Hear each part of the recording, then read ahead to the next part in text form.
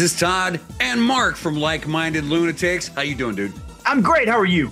I'm great, man. Welcome back to another drink, Play, Swear It's all we do around here. I mean, besides just completely lying without any guilt to our teachers as kids, it's all we've ever done around here. Welcome back to the channel. Welcome back to Like Minded Lunatics, and welcome back to Drink, Play, Swear. No, man, you know that Like Minded Lunatics is not only Drink, Play, Swear. It's also Mark in the Friday night videos, often with the LML crew. Mark, bang, flash something up there for them. And folks, don't forget, bang, to hit that subscribe button to be a part of this family of weirdos.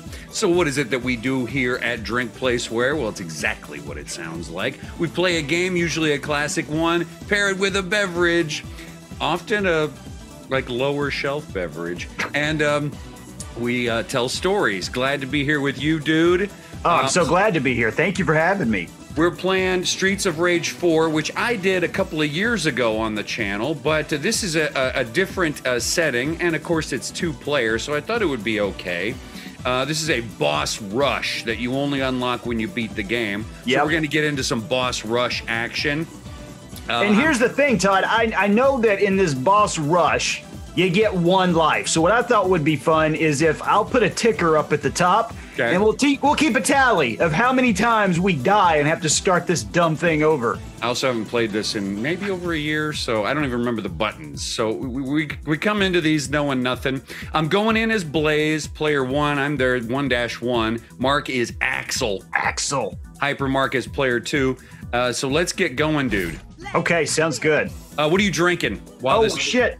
I always get the no. I don't want to leave. I always get the. because you're an Xbox player. I'm an Xbox player and it messes me up. Uh, so for my beverage, as you know, Todd, I've had the Red Deck Redeemer over here doing reactions, and he literally comes in with just a case of this nonsense. He doesn't even bother to chill it, which I find weird. But I'm going with a Miller High Life. What do you got? And I got, well, I can't raise it. Uh, right, oh, here we go. I got a Lone Star today. Nice. Yeah, so we're going classy, both classy. That's right. So what I remember about uh, this first boss is that when she raises her uh, her hand up, she's sort of charging for something terrible, and you just get the hell out of the way. Yeah. Otherwise, you can barrage her a little bit. Um, Oh, she got me with that snake, Todd. nice. Oh my god. Get the hell out of there, bro. All right. Oh no! So today, what I wanted to get into in terms of the story was uh, talking about times that we got in trouble as kids. Mostly, um, I'm most interested in stories where you got in trouble with a teacher. Because the funny thing is that uh, Mark and I are both college professors. The high school versions of us would have been shocked to learn that that's what we would choose later. On. Oh, 100%. because we hated school. Yes. So if you'd be willing, I'm dead by the way, bro. If you'd be willing. Oh god damn! I just died too. All If you'd be willing to tell a story about a time you got in trouble with a teacher, I'd love to hear it.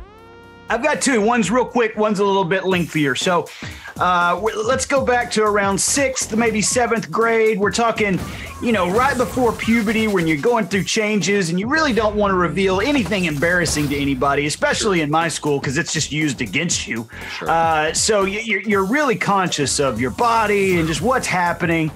And uh, I'm in Mrs. Ash's class, and Miss Ash was a very nice teacher. One of those Okay. teachers that genuinely seemed concerned with the kids. It- Yeah. That's foreign to me as a teacher myself. Um, but she genuinely seemed to care uh, about her students. So we're in English class, and she's writing on the board, and it's really, really quiet, you know, and uh, everybody's taking notes. And I'm taking notes, and I drop my pencil, Todd. I drop my pencil. It happens to the best of us. I, I go to pick it up, and when I do, when I do, my stomach gets a little impinged, and, uh, and a tiny fart sneaks out. Now, I did not mean for that to happen, Of course not. and I was, oh, I'm dead, and I was just immediately mortified because I knew, oh my God, I will, I'm going to be known as Fart Boy from here on out. The only kid who ever farted. Yeah, and so I, as soon as it happened, I, I I know my face just went white. People turned to look at me, and Miss Ash spun around, and this was this was so great. Miss Ash spins around, and before anybody can even giggle, up game over again. Before anybody can even giggle, she's she says, "Stop, stop.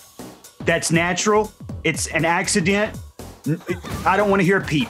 And it really made me feel like you know, she was there to let, you know, to, to support us and stuff like that. Wow. And so I sat there in my chair and I just, you know, I hunkered down and I farted again as loud as I could. and, it, and it rattled on the chair, and Miss Ash turned around and screamed at me to get out of her classroom. Oh, and you- then I went to the principal's office and I explained that Miss Ash had told me it was okay to fart, and then she kicked me out of the class. Yeah, she's and, and all of a sudden now she hates you. Yeah, now she hates me because I'm taking advantage of the fart rule. Uh, so, anyway, that's my first story. What do you got? All right. Uh, I'm dead again. Uh, so when I was, uh, and you'll notice I'm getting a little better at evading. I can't remember how to eat the food. Do you remember how to eat the food? Because I was trying to eat the food as well. Couldn't eat the food. there's chocolate and onion rings sitting all over the place, and you know this is like in uh, uh, Castlevania when you find a turkey leg in the wall and you decide to eat it for some reason. You can't be eating alley food. Can't. Well, I mean, I guess if you if you have been hit in the face, it will help to eat chocolate. If there's a woman who's lashing you in the face with a snake, So, uh, when I was in high school, uh, me and my buddies were uh, dirtbags and I was in trouble. And um, uh, I was in band. I was in marching band and I quite liked it. It was the only class I liked. And uh, we uh, were good enough as a band to uh, t- do UIL competition. We were going to go to Breckenridge. Is it Breckenridge or Brackenridge, Colorado? Uh, I think it's Breckenridge. Brackenridge is the hospital in San Antonio. Sure. Okay. So we were going there, and we are gonna fly and everything, and it was gonna be the one of the first times I'd ever seen uh, snow. You know, so very Oh, yeah. excited. But uh, right before we go on the trip, uh, band director calls us in uh, to his office, and he tells he tells us, boys, uh, now I know for a fact you guys are cigarette smokers. Oh yes. And I don't want any of that on the trip, and I also don't want to be policing that on the trip. Nope. So I need you to sign these. Me and my, this is four of us in this room. I need you to sign this promissory note that you're not going to smoke on the trip. Bogus. So we all, of course, do it because we want to go. Yep. Um, but we all also leave the office knowing we're definitely smoking. Sure. So uh, we go on the trip, and I remember it was like a long plane ride. And when you're a kid and you're a cigarette smoker, like you got it in your head that like I'm addicted, man, and like in a romantic way, and like Yeah. you need you need a cigarette every 30 seconds. Right. So we're freaking out on the plane. It's been a couple hours since we had a cigarette. So anyway, we finally land and we go sneak off and have a cigarette, and we do that many times over the course of the trip. Oh, of course. Well, we get back to San Antonio and uh, go home for the weekend and everything. And then on Monday morning, uh, Mr. Bewley, band director, calls me, just me, Uh-oh. back into his office. Yeah. And I think, looking back, he probably called me in because I was the mo- most honest, probably, of this group. Yeah. Um, and so he wanted to get some information. He said, Todd, I'm really disappointed in you guys. Oh no, that's the worst. I had reports Yep. so there was a narc, right? I had reports that you all smoked on the trip. Uh oh. I'm thinking over what to do, right? Yep. You have a hard time deciding as a kid what to do. And I, I'm not usually too comfortable with being a liar, to be honest with you. If you have guilt about it, I'm, not Okay. great, I'm not great about lying. But in this moment, I thought, you know what? This is a victimless crime, and there's also absolutely no evidence. This is after the fact. So I'm just, just gonna lie my ass off. You know, it's not like I stole some kid's hacky sack. Right. So I say, I, I look him right in the face. I say, you know what, Mr. Bewley? Uh, this upsets me so much. you know, I said, I'm a cigarette smoker. That's true. Um, and I'm addicted. But I didn't take cigarettes. I didn't have a single cigarette. And I didn't see anybody have it. Sure. You you have whatever kind of witch trial you want. Witch trial. yeah, yeah. But I didn't do anything wrong, and uh, and I, of course I have to accept whatever you decide. But Yeah. I, I think this is bullshit to be accused.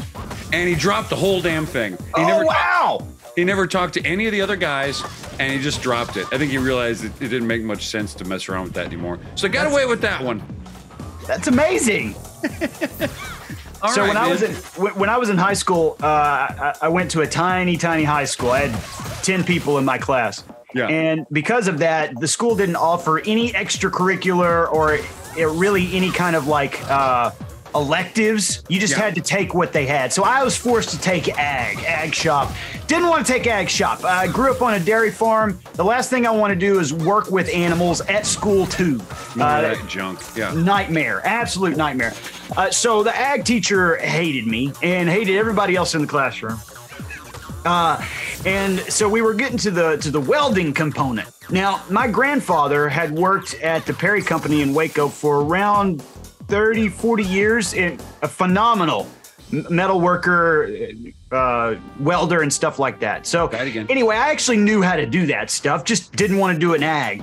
Um, now, I should back up. I do think that he was justified in hating us for several reasons. One of them was uh, there was one one occasion when he was demonstrating how to weld, and uh, we had we had snuck pepper with us out of the lunchroom. Okay. And I don't know if I don't know if you've ever welded before, um, No, dude. but if you throw pepper onto a weld as somebody's welding, it will ignite the the pepper kernels and just start sparking. And so he was trying to demonstrate a, a weld, and we chunked that shit on his on his on his arc, and it just blew up. So I mean, I get it. He didn't like us. In any case, when we started the welding module, he told us that if you are able, if you can come in and you are able to weld a flat piece of metal on the top of a pipe upside down, and then when you invert it, if if it will hold water, if your weld is strong enough that it will hold water, you'll get an A for that module and you won't have to do anything else. Okay. So I was like, this sounds this sounds fantastic. Uh, I. I already know how to weld, but I'm gonna get Papa to help me, and, and I'm gonna go in there and not have to work the rest of the semester. Nice. So I told Papa, and he was like, "That's dead easy." So we started practicing, and I was, you know, I got to where I could weld a bead around that pipe and turn it upside down, fill it with water, no leaks. So I show Mr. Choate. He's like, "Oh, "That's great." I'm like, "Okay." So I don't have to do any work. He's like, "No, you still have to do work." So I was immediately upset and mad because you know he, he he'd reneged on that. I There don't was a contract. There was a verbal contract. verbal contract about what should happen. That's right. So at the end of the module, at the end of the semester, whatever it was, we were doing our we're, we're doing our practical skills, showing him when you knew how to weld, and we were supposed to do what's called a butt weld. Okay. Butt weld is when you take two pieces of metal and you put a bead in between them and you and you weld them together. okay. It's pretty easy to do Steady. unless you've got old welders like we had. And then you have these huge rods that will burn through the metal. So it, it can be hard. And so to test us, he would have us weld two nails together like that. And so I worked on mine and he was walking around and checking everybody's work. And he got to mine and I, I showed him what I welded. And I've got it here, Todd. Can you hit pause real quick? Uh, yeah. I, yeah. There we go. When he got to my station, I, I asked Mr. Choate, now, Mr. Choate, is, is this a butt weld or is this a dick weld? And I'd welded two guys with enormous penises with one guy sitting on the other guy's penis. I still have it. He gave me a C. What kind of nonsense is that? That's the, probably the the best piece of art that was created all year. Absolute jerk. So those are my two stories. What do you got? Let's go. All right, second grade. No, it's not second grade. Spanish two, 10th grade. Um, I, you know, I'm, I'm full on uh, asshole kid by this point, 10th grade. Prime asshole. And uh, I'm taking Spanish too. I don't want to be there because I'm No. just not immediately good at it. Uh, you know, in, in in some work like English and history and you know uh, stuff like that, immediately good, and so didn't have to try. But anything I had to try in, like math and a foreign language, I wasn't good because I just didn't bother. Right. So I wasn't good in Spanish one, but I got through it. And here I am in Spanish two on the first day with a new teacher. And she wants to go around and talk to each kid on, No. on this first day, have uh, us come up to her desk and just talk to her about our history with the Spanish language. Because Sure. some kids had tested out of one, and some kids kind of already spoke, you know, la- uh, the language, and some kids just went through Spanish one and weren't so great yet, which was me. And but I thought this is bullshit because she even said we might not get to everybody today, and my Ah. last name starts with W. So what I So know you're that- not getting got. so what that means is I'm just sitting there. So I do the dickhead teenage thing. I pull out my JanSport as a pillow and I take myself a nap, Good for you. waiting to hear if I'm gonna get the attention of this teacher today. Wake up to the bell ringing. and um, have find out I've missed uh, her summoning me to the desk. Oh my gosh. And um, I, I look I look up, and the girl next to me kind of giggles when I raise my head, and I say, "Oh, did she call me?" And she goes, "Yeah." I'm like, "Oh no." And uh, oh no. I go, "Did she say something?" She goes, "Yeah, she sort of made a joke about you." And I was like, she made a joke. and I was like, "Oh no." So I go up to the teacher right after, and uh, wow, we, we we did good on that one. God. And I said, um, and I said, uh, boy, I'm real sorry about that. You know, trying to like fix things. First impressions, right? Uh, She says to me, no, no, no, no. You didn't have time for me. I don't have time for you. and bitch hated me the whole year. Come to find out, years later, I would I would go through college, go through grad school, and before I had a job uh, as, as a professor, I was trying to get you know any kind of work I could to pay the bills, and I was substitute teaching at different schools. I applied to substitute teach at my old high school, and I was in there filling out the paperwork. This old lady comes in 20 years later. I can tell it's her. She comes in, she sees me in the attendance office, and she just looks at me. She goes, she recognized me. She goes, ah, and walks away. beautiful. Yeah, and I, I you know, I, of course, I have my own narrative about how she was awful, but I hear from so many students that she was their favorite teacher. Oh my God. It was probably me. All right, dude. I think All right. I think we ran out of time here. Yeah. Um, but, uh, and I, you know what, dude? Oh, this is gonna be a hard one because I haven't done much work on this, folks. In between now and the next time we talk to you, thanks for being with us for Streets of Rage. Just a horrible showing, Terrible. Embarrassing. but dude, it's always good to hang out with you Yep. and tell stories. So, in between now and the next time we see you, we're Mark and Todd.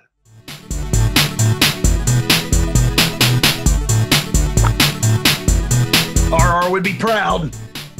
See ya.